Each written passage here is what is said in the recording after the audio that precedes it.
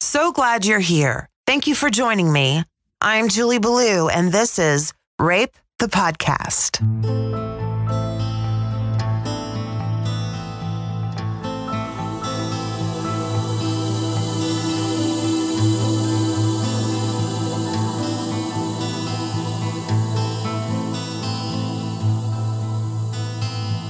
It's actually been since 2014 that Springfield police have been sending every single rape kit they've collected to a lab to be tested for DNA so they can log that shit into CODIS. They got a little bit ahead of the Sexual Assault Kit Initiative, which is a nationwide undertaking funded by the Bureau of Justice Assistance at the United States Department of Labor that began in 2015. This initiative helps state and local jurisdictions across the country inventory and test sexual assault forensic evidence kits, upload eligible DNA profiles into a national database, investigate and prosecute those cases in which offender DNA profiles match or hit against existing records in the database, and develop procedural and evidence tracking capacity to prevent future backlogs. As of December 2018, the SAKI program had inventoried over 64,000 safe kits in 54 jurisdictions in 35 states. More than 47,000 safe kits have been tested,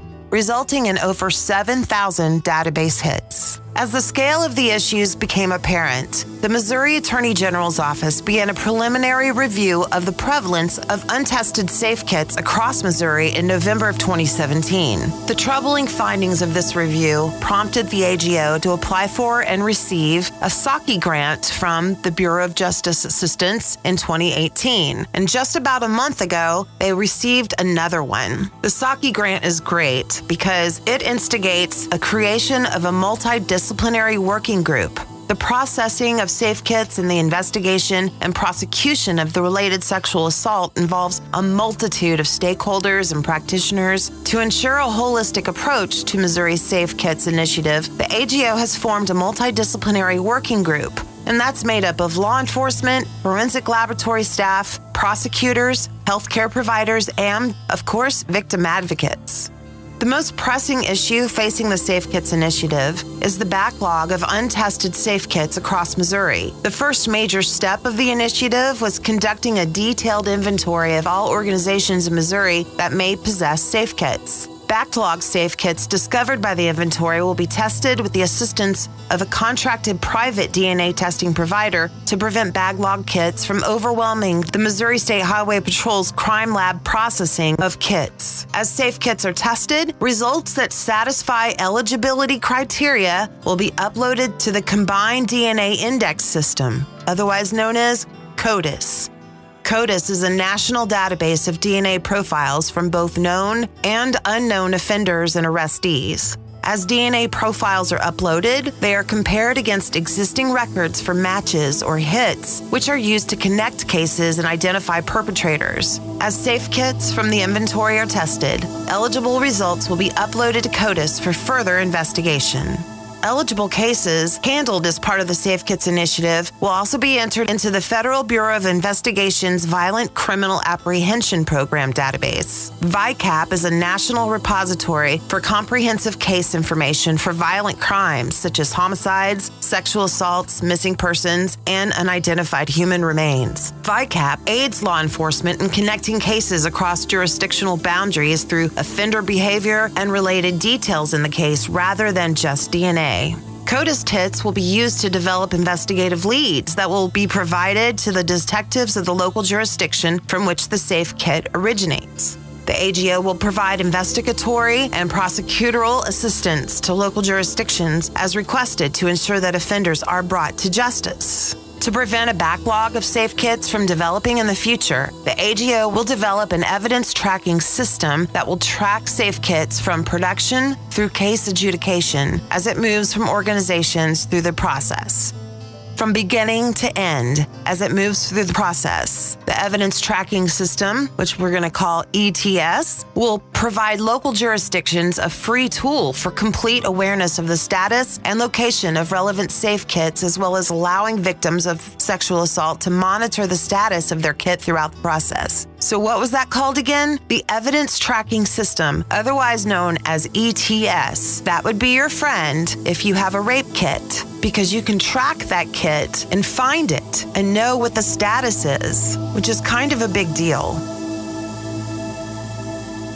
I don't know if we know exactly how many have actually been tested so far, but last month, September of 2020, we started getting some results. As labs work through a backlog of rape investigation kits, DNA matches could help authorities solve crimes. KOLR 10's Bailey Stroll is up first tonight. She spoke with Missouri's Attorney General. Bailey, tell us what does this mean for assault victims in Springfield?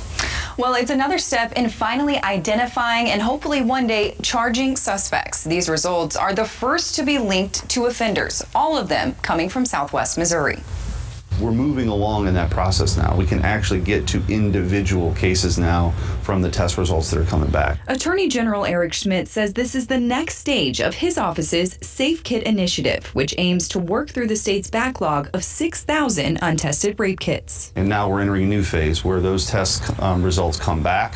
They're entered into CODIS, which is the National DNA Database, which will lead us then potentially to prosecutions. The process is beginning to come full circle. Late last year, the AG's office has sent the first 50 of the state's untested kits to a private lab, those 50 coming from police departments in southwest Missouri. Of those, 16 were able to be ran through a federal DNA database, and of the 16, the state found 11 that matched offenders' DNA. And so that means that those 11 now are going to be referred to local law enforcement uh, as we work with the um, police departments, law enforcement, and prosecutors to potentially move forward um, with prosecution to make sure we're um, providing justice for the victims. Now that the State Highway Patrol Crime Lab has identified suspects, the investigation begins. It certainly gets much more uh, personalized, right? Because now we're talking about individ- potential individual crimes. And that includes communication between police, hospital workers, and victim advocates. They're going to be really important as we move forward with potential potential prosecutions to talk to the victims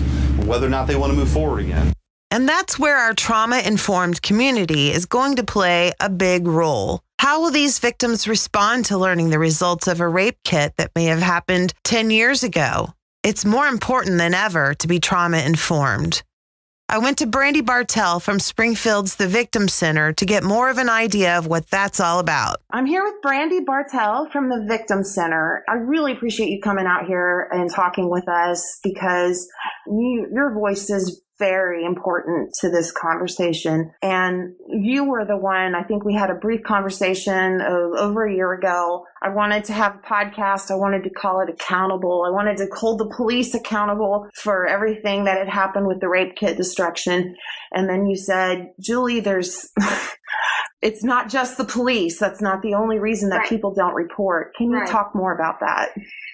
Yeah, I feel like part of my job is to educate our community broadly about the topic of trauma, of sexual assault, of course, in, in this particular case. A lot of the reasons why survivors do not come forward to report what happened to them has a lot to do with their sense of opportunity to feel supported and to get the help that they need. There is a lot of conversation right now at the social level. There's a lot of social dialogue, if you will, about the responsibilities of law enforcement.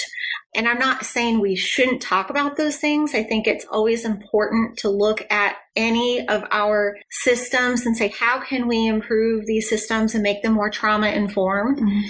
But people don't often talk about our own responsibilities in that effort as citizens because business leaders, other community leaders, individuals who vote, individuals who serve on juries, individuals who are educators, who are nurses, who are in the public eye and have an, a circle of influence of any kind. You could extend that to athletic programs and celebrities even. You could really look at any person in our community and say, all of us have the responsibility of understanding the dynamics of these types of concerns in our community, understand the impact it has on individuals and the community more broadly, and what role we can play in improving that for all persons. Because if a survivor shares their story, if they report it, they are committing to being vulnerable. And it's a very private, very traumatic thing for people to talk about in the first place. So if they take that very broad and brave step of saying,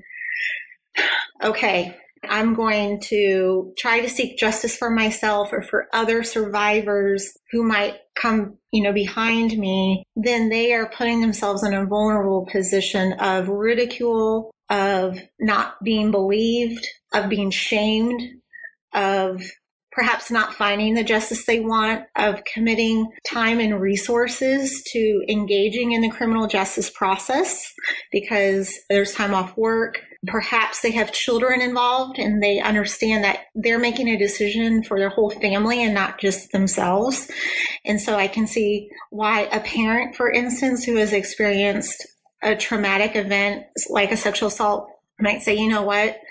I don't want to put my kids through this public conversation that might happen as a result of reporting this. And so, who is accountable for that? Is it law enforcement? Is it nurses? Is it victim advocates? Is it community leaders? Or is it more broadly each individual in our community who can create a culture of support, who can influence their own organizations that they're a part of, whether it be a school district or it be a business that has employees who might need support because of something they experienced. Perhaps it's you're involved in a faith group or a civic group of some sort. And so these are things that we tend to think as a society that only certain types of people need to think about this, need to deal with it. A lot of that responsibility tends to get put onto victim advocates and law enforcement and prosecutors. And of course, that's a role. I'm not saying we shouldn't play a big role in that conversation and that responsibility, but there's only so much that I, as um, one individual, as one organization, can do. And it is not something we can do alone or in isolation. We need the whole community to rally around the concept of supporting survivors, of course, sexual assault survivors, but also domestic violence survivors and survivors of human trafficking. And there are a lot of individuals in our community who come to the victim center and they say, you know what, I never thought that this would happen to me and they are so traumatized. They are um, afraid. They don't know where to turn. They don't know who to ask for help because they're not sure who will believe them and support them. What that means then is that you have individuals making that decision not to come forward, which means that perpetrator will not be held accountable for what they did, mm-hmm. for the choice that they made. And potentially they could reoffend. And that's always a concern when you're talking about issues around sexual violence or domestic violence because we do know that statistically, most of these offenders are people that garner the trust of the victim. And it's about power and control. Sexual assaults in particular do not happen just because two people were drinking. It happens because somebody made a choice to take away somebody else's power and control and they felt like they had the right to hurt somebody else. And without a community in place that can say to inform a judge if they sit on a jury, for instance, yes, we're going to hold an offender accountable for what they did, it really makes it hard for prosecutors to seek the justice that they are, you know, passionately working toward because I tell you, most people in these types of fields do not go into these fields because it's because it's a job. They're doing it because they feel called in some way to help and to seek justice somehow for others. And so it's really discouraging to be in a field mm-hmm. and feel like the system isn't working in the way that you want it to. Do you feel like it's changing the system? I've been with the Victim Center for 16 years now, and I do see change. And I tell people that all the time positive change, um, because I guess change could be negative as well. So I feel like there's more social discourse and conversation happening, particularly around the topic of sexual assault. And I think that's fantastic because what that does is it tells survivors, and that's why I love the Me Too movement, it tells survivors that they're not alone, that they have support behind them, that here are people and systems in place that can help you and support you. And so it helps to connect survivors to resources oftentimes. I feel like when people of influence, leaders at any level in our community, see that this is something the community cares about, they're going to pay more attention to it. Mm-hmm. It's not that it wasn't important. I, I don't think if you ask any community leader, it, outright, is this an important issue? I don't think anybody would say no to that. But if it becomes such a big conversation point and if it's more of the focal point is what I'm trying to say of social discourse and it's done in a way that's supportive of survivors it's done in a way that's constructive and positive without tearing people down, then that's where we start to see change happen at every level, at every you know fabric of our society, mm-hmm. because those are people who will say, you know what. I feel brave enough to speak up, and I feel like I have the support to speak up and say, this system needs improvement or this doesn't feel right to me. Maybe we need to change some practices that historically have been implemented and now we're in the year 2020 and guess what? It doesn't make sense anymore. And so we need to fix it. Can you maybe give some examples of that? Recently, our state legislation passed the Sexual Assault Survivors Bill of Rights, basically. And so I feel like even though for a while now our state has had within its constitution some crime victims, it was not as detailed and as specific to sexual assault survivors as it could have been. And so right away, like that's the most recent big thing that's happened at the state level, which is amazing. Mm-hmm.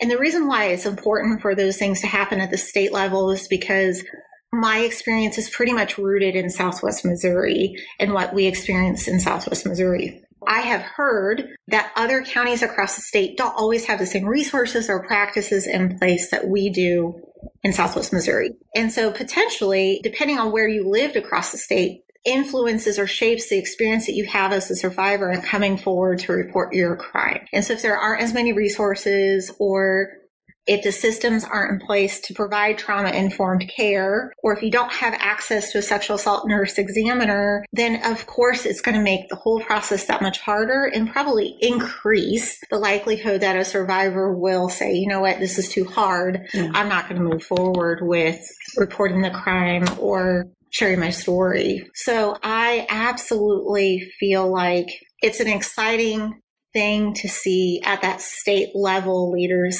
say it's so important to us that we're going to outline some really specific standards that we would like to have all survivors have access to no matter where they live across the state. Yeah, it feels like we didn't know it was a problem until just recent until the Me Too movement. And now leaders know it's a problem and we're doing something about it. Yeah, there's a lot of value that these social conversations have. It's one, it's to provide awareness, it's to provide education and information across society as a whole, which of course also includes people who make decisions at that state level. But again, going back to what I've, I've touched on earlier, it has to happen in a grassroots way. It has to happen more broadly for society as a whole to build that momentum that you need to create change. Mm-hmm. from my experience, you cannot have one organization or one entity solely responsible for change because that usually isn't how you create buy-in and create that change. And so I think the Me Too movement has a lot of agency in that work and, and that's something that survivors should be really proud of. Yeah. I'm glad we're doing it. Yes. Would you mind defining we I use the, the words victim and survivor interchangeably, but more or less I feel like they're a victim right after it happens and maybe a survivor further down the road. Is that kind of how you look at it? I feel like that's really defined by the individual. Okay. So it's really not fair for me to say there's a definition. However, those of us who are in this victim services field will oftentimes use it in the way that you described. So we will often say a victim when a crime has immediately happened. However, it's really up to that individual person who experienced those things to decide am I a survivor or a victim? Because what I've seen is that sometimes people who first report the crime, they will say, you know what, I'm not a victim. I don't like that term. That's a label that I do not want to own because that's part of perhaps keeping me down and, and not allowing me to heal and rise above the pain and suffering that went hand in hand with that crime. Mm. But on the flip side, I have also heard people argue on the other end of that spectrum, healing from that trauma is a lifetime process. It is not something that will go away overnight, that trauma. There are so many things that trauma does to impact the well being of survivors or, or, victims, whichever word is appropriate for the circumstance. And so sometimes we will have people who say, I experienced trauma or abuse as a child and I'm an adult now and I'm still working through the trauma that happened and that I experienced. And so that word survivor may not necessarily fit where they're at in life and they mm-hmm. may not feel like they've survived anything because they're still living it every single day. So I think we struggle as a society with finding the right terms to talk about these things. And that's one reason why it's so hard to provide that awareness and education and information to the public. Because if survivors and, and experts, if you will, struggle with talking about using the right words to talk about it, how much more so would it be for those who aren't necessarily working with this every single day? Yeah. In their, in their day to day work. And so I understand there's questions around these definitions and terms, and it's a hard I don't think I gave you a direct answer. no, I, I, get it. what about the terms sexual assault versus rape? How do we define those? Just from a if you're looking at the law, so rape is a type of sexual assault. And so rape is typically referred to a very specific type of sexual act where consent was not a part of the sexual interaction, right? So basically, sexual assault more broad is a more broad term as a whole and, and can refer to things like digital penetration. It could refer to objects being used sexually inappropriately. It could refer to touching over the clothes. It could refer to sodomy. It could refer to a lot of things that sometimes when you, when people use the term rape, survivors or victims will hear that and they'll think, oh, that doesn't describe my experience that I had. So I must not have been victimized. Hmm. And so we have to be really careful, I think, as a whole, because oftentimes survivors don't recognize that what happened to them was a sexual assault or that what happened to them was a rape and oftentimes that's something in particular that we have to work with children and teens because they will often feel like this, my experience doesn't exactly mirror what I'm hearing other people talk about. So I must not have been a victim. And so it must have been okay what happened to me. And so what we try to tell people in general, if somebody touched you or hurt you or did something to you without your consent, that is not okay.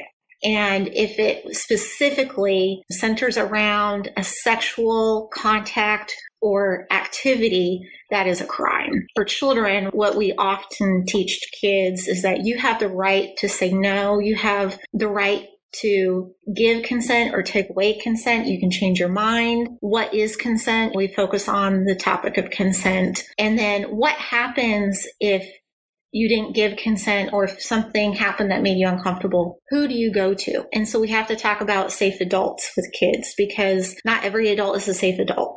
And oftentimes kids will report a crime and that adult that was supposed to be a safe person in their life will say, uh, please keep this a secret or, or don't tell anybody. And so unfortunately, what we often say to kids in particular is tell somebody until somebody believes you. Mm-hmm and tell an adult, safe adult, until somebody believes you. So it's really sad, unfortunately, that those are messages that we encourage parents to teach their kids in the home. We teach safe adults like teachers and nurses and other caring individuals in our community to learn how to talk about these things because if kids aren't taught from an early age about consent, then it's going to be so much harder when something does happen for them to understand that what happened was wrong, to have the language to talk about and describe it, and then where to turn to get the help that they need because kids cannot, and, and adults shouldn't either, but certainly no person should have to go through that experience on their own. Yeah. And there's certain disenfranchised communities. I spoke with a woman of color the other day who said that black families do not talk to the police. They do not tell anybody what happens in their house. Mm-hmm. They, that's the way they were raised. Mm-hmm. What might be a safe parent, well-meaning parent, may get reported to CPS or something if they do end up telling and losing it, it, there's just a lot of things that can go wrong there. How do you deal with confidentiality at the victim center? Everything that we do at the Victim Center is bound under the rules of confidentiality. So, what that means is for adults, they can tell us anything they want, and we cannot and will not share that information with anybody else. Not a friend, not a parent, not the court system, not law enforcement. Now, there are some exceptions. So, if we get a subpoena from a court system that says turn over all your records, we as an organization do everything we can to try and quash those through a legal process under that rule of confidentiality. But there's always a risk that a judge would say you have to turn that over. I don't think I've ever had that experience at the victim center, so that's the good news. That is good. We always just have to be very clear and transparent and allow victims have informed consent about mm-hmm. what they want to share and not share. And that's those are their decisions to make. With children, going back to your question about confidentiality, we're mandated reporters by law. Mandated. And so if somebody says, I know of a child, or if a child calls us and discloses a crime, we're going to have to report that to the entities involved in investigating those types of crimes.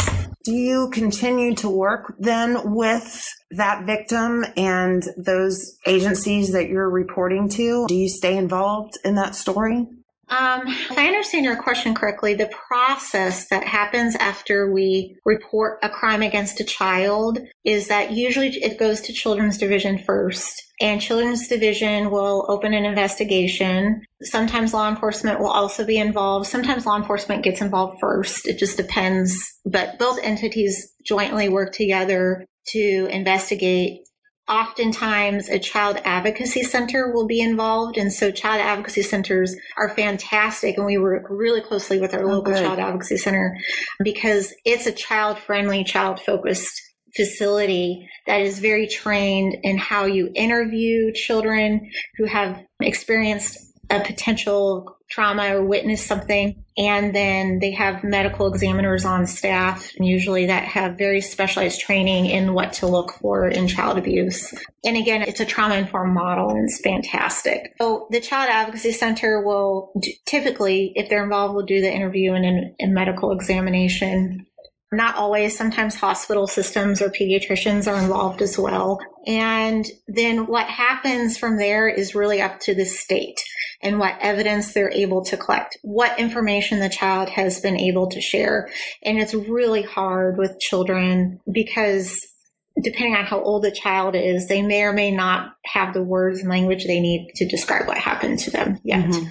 But I'm so glad that there are agencies like child advocacy centers out there and very highly trained detectives that know what other evidence they can rely on beyond the child's testimony that will help to build the information they need to take a case to, to trial. And so the Child Advocacy Center, what they do is they refer that child to the victim center for counseling, follow up support if they need that. Usually we're working very closely with the non-offending parent or guardian of that child. Sometimes the prosecutor's office will decide to go to court and to press move forward with charges. And sometimes the prosecuting attorney's office decides they can't do that because there may not be enough evidence available to move forward. And it's a very traumatic experience for an adult let alone a child to go through. And it is not a speedy process. It will take years typically. It is very understandable that children going through that process will need a lot of support. So yes, so the Victim Center will provide mental health counseling to the kiddos, non-offending parents, provide support, do court prep with the families. What I mean by prep is is not necessarily we don't talk about the individual aspects of their case and then tell them what to to say. Mm-hmm. Um, but we, we teach children the number one rule of going to court is to talk and tell the truth. And here's the rights that you have when you go to court. And we have a kids court program where we take kids who are having to testify in the courtroom after hours to the courthouse building and they get to meet a judge and a bailiff who aren't involved in the case at all. They get to see the facilities. They get to sit on the truth telling chair, which uh, of course is the witness stand and practice just speaking into a microphone because that's a skill set that a lot of kids don't yeah. have yet answering basic questions what color is your shirt? Red you know or green or whatever. Don't nod your head. You have to say yes or no. So there's some basic skills and rules of court that most people don't know going into it let alone a child and we're there to support that family that, that sounds process. really helpful. I'm glad to hear that. I would imagine that this process is pretty difficult for the advocates that you work with and for yourself. Sure. what makes a good advocate I think the pat answer that a lot of people will say is a good advocate is somebody that has a caring and compassionate heart, is wanting to help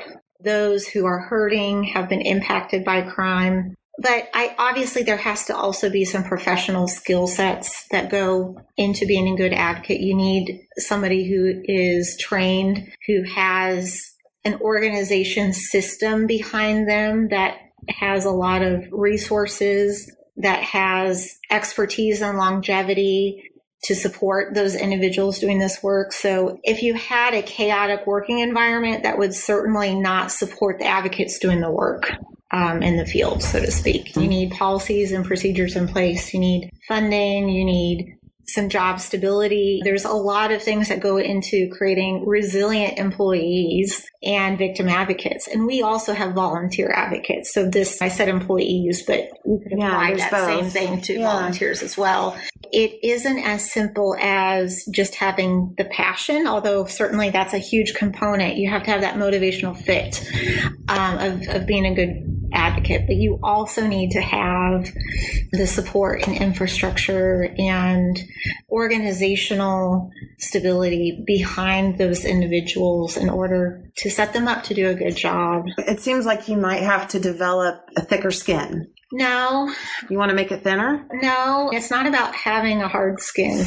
It's about having the soft skills, the coping skills, the resilient skills to be able to deal with it. We're human. Doesn't mean that we have thicker skin or that we are somehow like magically immune to these types of stories and hearing the the human suffering that goes on every single day. Rather, what do you do with that information that you're hearing? How do you process that? What support do you have to work through that? Again, it's about resiliency. It doesn't have anything to do with being a, a hard or, or, soft person mm-hmm. because mm-hmm. you can have people that put up their walls and they're going to be less resilient potentially than people who are open to their experiences and understand its impact on them and they know how to process and what to do with it to help them be able to continue helping other people. For sure. That makes sense. You've mentioned trauma informed, and I wanted to ask you this huge question to answer. what does trauma informed mean? Yeah. I, I understand that's a really big picture, and what I've been amazed at, I don't know why it didn't occur to me that it could help in so many other areas besides just yeah sexual yeah. assault. Can you give me the five minute version of it? Yes, yes. I will do my best. Okay. First of all, trauma informed is, is a technical term that should be used to describe a system or an organization sometimes that is informed on how trauma impacts individuals. And every aspect of policies to decisions to the paint color on the wall or to how an environment is set up should center around that understanding of trauma. And so it informs everything you do. So if you had a janitor on staff, they would understand how their job or how their role in a system or an, infrastructure and organization impacts individuals who have been traumatized or experienced trauma in their past. If you have an accountant, they would understand how the work that they do could have an impact positive or negative on individuals have experienced trauma. And so you're probably thinking, what do those two types of roles, which are periphery, maybe in an institution or a system, have anything to do with trauma?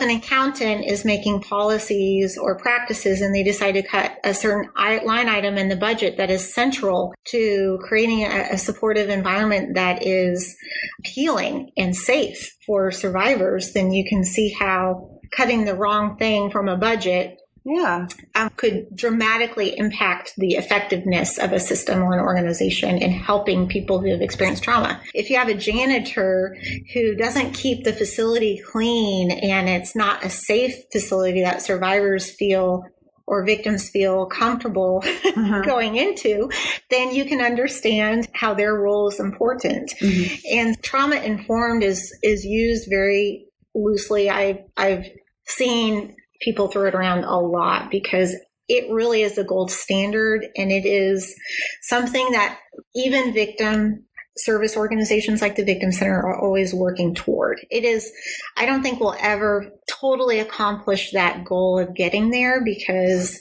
there are always a lack of resources that prohibit our ability to do everything 100%. There are always going to be, like, for instance, I at this point in time don't have a staff that 100% represents the demographic makeup of Southwest Missouri. I wish we did, and it's something I'm constantly working toward and how we recruit and train staff. But that's just something that we have to understand that individuals who make up our organization have their own experiences how do our individual experiences inform what we do unintentionally, right? And so maybe if you have a survivor that has some disabilities perhaps and need some additional supports to access services, but I don't have anybody on staff or on our volunteer force who necessarily could identify personally with that person. There's always the potential that our organization will not fully meet the needs of that person. It's something that we work hard to be aware of and to be sensitive to and to respond to there's always work in progress there. And I, I wish it was perfect all the time, but that's probably something unattainable for for every circumstance. But if you're working towards it, you're working towards it. Right. So and I think that's that's the better than that, not. that's the most that you can ask like every single entity and system is we understand that the gold standard, that perfection, that pursuit of perfection is going to be a work in progress and it's going to take time to get there. Um, and we're doing better, I feel like, as a society through some of the things we talked about earlier about the state's recent sexual assault survivors bill of rights.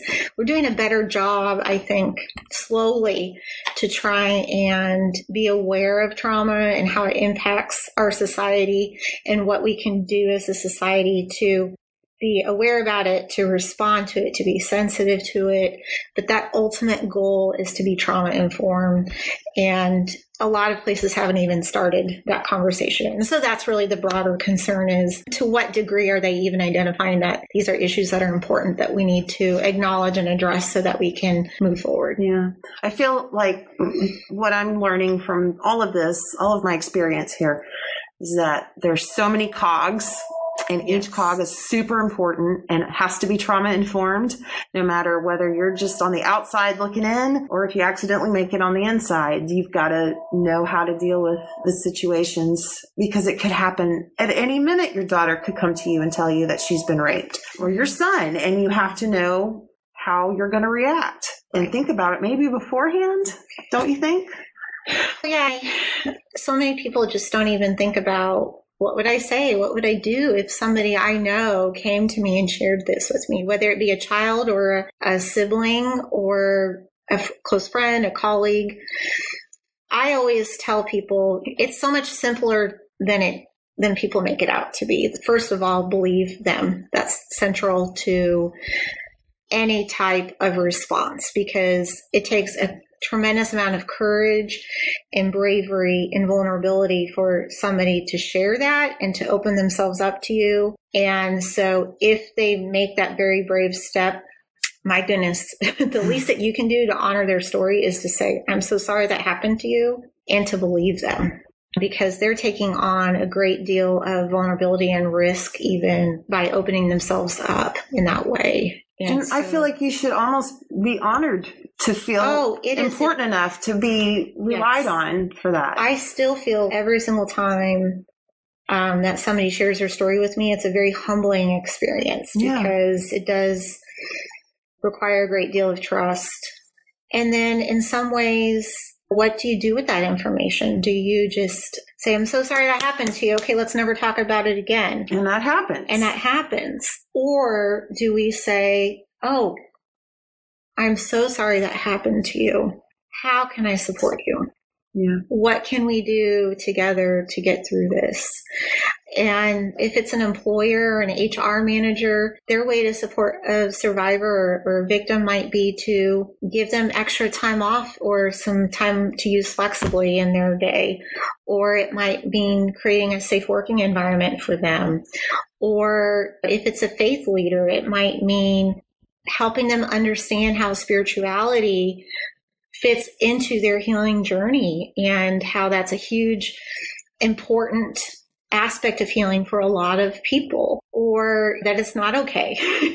First of all, I think sometimes we fail to acknowledge that or to say that out loud to survivors. It's not your fault. That's exactly right. This should never have happened. Mm-hmm. It is not your fault. This was not okay. I think people in general just get really paralyzed by feeling like they have to do all these things perfectly. But I feel like those are some pretty basic responses that any person is capable of doing without needing specialized training. Agreed. Now, what about this knowing your rights? I, I, know my rights. You can't do that, but victims have rights. And sure. I received some information that looks like all of the small print that you have to go through when you purchase a new something and you have to sign that you've acknowledged you read all this stuff and it's yes. just too much to read, so you don't.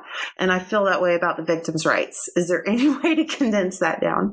Oh, goodness. I think the best thing to do, and given our time limitations, is to say, yeah. make people aware of the fact that they do have rights, that there are rights crime victims' rights built into the Constitution of Missouri, which is pretty amazing. Most recently, there was at the state level a Bill of Rights for sexual assault survivors that was passed. And so the bottom line is that law enforcement, nurses, prosecutors, defense attorneys, victim advocates are all now charged with helping survivors or victims understand what those rights are. And so I always encourage people to reach out to victim advocate. I know sometimes people feel like they don't need it. And so reaching out for help is not a sign of weakness. It is not a sign that you are less of a strong person than than somebody else. I feel like it takes a great amount of strength and it is a sign of strength to reach out and access all the resources available to you. And I'm the, just the type of person, this is just how I'm wired, that I want all of the resources that I can have because why wouldn't I want to set myself up for success? Mm-hmm. And so I feel like having an advocate in your corner, so to speak, will just help to make the process feel a little bit less cumbersome. It will help to provide information, connect you to go to the right place. Let's be honest, this, the system is the criminal justice system, the civil justice system, because those are not the same things and they often happen concurrently. Those are mm-hmm. overwhelming processes. And unless you're in the field and have worked in the field for a really long time, it's going to be overwhelming to navigate it. And so why wouldn't you know, a survivor want that help. Now I know the really good reasons why people don't want help and that's okay. That really is every person, individual person's decision. But when you're talking about rights, like you said, it's several pages long at this point in time. Mm-hmm. And right now, even in our community, law enforcement and prosecutors and victim advocates are talking about how do we even go about sharing all of this information with somebody, for instance, that's in the hospital? They might have injuries. They might be struggling with some mental health issues, perhaps. They're traumatized. Oh my goodness. How would anybody begin to retain all of this information all at once? Is it even appropriate to do that given some of the circumstances that might um, be there. And so we're just, we're trying to figure that out ourselves, the best way to provide that information. Of course, it, we'll give it to them in writing, but it's Again, it's like the okay, yeah, whatever. Yeah, but you just don't want to shove a piece of paper at somebody and, Yeah. and be like, "Oh, here, sign that you got this." Just like when most of us go to the doctor's office and we have this like long HIPAA consent to treat form. Who reads that? Nobody. does. You just sign it and move on. So we're just struggling with that, trying to find that balance of making sure that survivors feel supported, have access to knowing what their rights are, but then on the flip side, doing it in the right way that's sensitive and again trauma informed. Yeah. What are victim compensation? Didn't know anything about this until recently myself. There's, I feel like the general population doesn't know about victim compensation. How would you Yeah. describe that? Yeah, so Crime Victims Compensation is a state run program that has the ability to compensate. It's reimbursement based typically, um, not always, but oftentimes. And it will reimburse victims for certain types of costs that they incur as a result of the crime. So, medical expenses, mental health counseling, funeral expenses. I think even sometimes lost wages, although I, I can't, don't quote me on that because there's a lot of rules on what they Mhm. will and will not fund in certain circumstances, parameters. But it is an application process. You don't just get this money, by the way. Okay. And so that is a process that we have advocates on staff trained to help victims go through if they would like that. Usually involves gathering receipts, filling out a piece of paper, turning it into the state. The state reviews it, they turn it back into the victim. And so in the meantime, they might have hospitals trying to collect money from them or a funeral home trying to collect money from them. And it's a very stressful experience for survivors. We do have clients that benefit from that all the time. So I don't want to discourage anybody at all from applying for it because it is a blessing to those who can get it. Mhm. But I also don't want to give false hope to people that they can just walk in our doors, for instance, and we hand them a check. It is not something that straightforward. Got to jump through some hoops. There's a lot of hoops there. Yeah. Is there anything you feel like the sexual assault task force may have missed, or are there more areas that we can improve on? The challenge with the task force or the city of Springfield, anyway, is that the city of Springfield can only do so much. It has its jurisdiction, if you will. So the city of Springfield is not in the position to tell the state what to do or to tell the judicial system what to do. And so I think it's just important for people to remember that when we were going through the very arduous like process of trying to narrow down what the priority should be. It was like, how do you possibly narrow down everything? And then also some understanding that we had to keep it within the framework of what the city itself is Capable. of doing? capable of influencing and responsible for. At some point, and I can't remember if it was at the beginning or at the end of the report, there were some just general acknowledgments that this is just the first step. And I think it's an important first step. And there were a lot of great recommendations in there. And so it doesn't mean that this is like the end all be all. It does not mean that once we accomplish all these things and we're done. Yeah. This is a continuum. You have to start somewhere, and how do you do it in a way that you're identifying what's realistic, what's feasible, and what are your priorities? It's so hard sometimes just to collectively decide on that. Yeah. Um, For sure. anyway, it was a big deal, I think, for the city to dedicate and allocate the resources to just commission that work to be done. And I'm really hopeful that over time, once we get through COVID, Mhm. that yeah that our community can again renew some of the momentum behind that report I'm just so proud of everything that our city has done and, and that we're taking the initiative. So that's Yeah. what I just want to share with the world is yes that yes. it is possible. And if it's not happening in your community, then it could. There's still time. yes absolutely and i don't think I don't think there's a quick fix for a lot of the issues, Mhm. uh, the, the gaps, the fixes in the system. Can't make a lot and correct a whole bunch of the stuff. I, I wish I could, if I were queen for the day, I would- I'd fix a lot of things overnight. But the reality in our world is that it's a journey, it's a marathon, it's not a sprint. I know that feels pretty trite, but it, it very much applies to this work. And we all collectively need to take a step back and say, what role can I play in this good work? How can I be a part of this change? And every person can do something, even if it is as simple as becoming aware, informing our friends in our circle of influence, and then being very careful about our social discourse, the language that we use, what we choose to support, how we vote. All of those things are opportunities we have to create the change we like to see. And so when people hide their head in the sand, whether intentionally or not, because sometimes I think people just aren't aware of what they don't know, that really isn't going to move the needle forward in creating a safer, better, more thriving community for all persons. These issues have a ripple effect on every aspect of our community. So trauma impacts our educational rates of graduation and success and testing scores.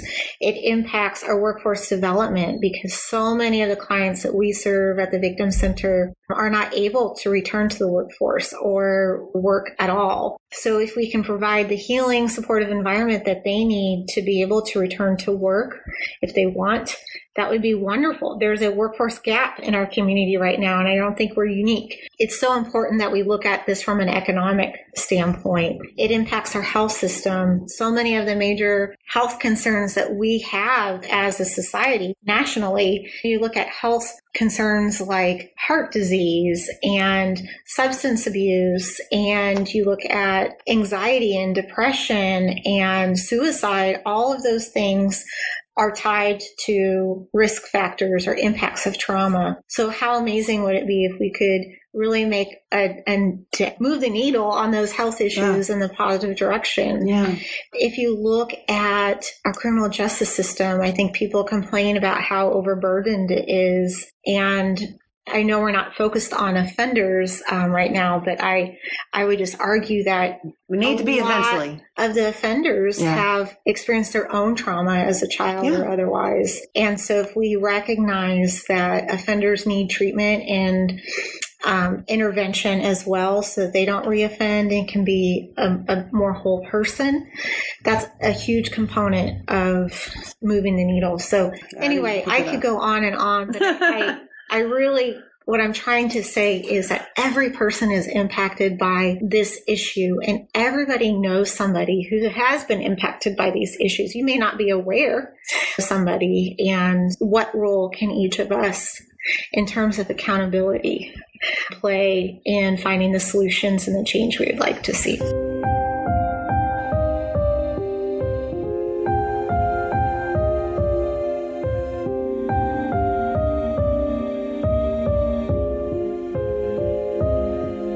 The next episode, I'm going to talk about youth, about race, and about history.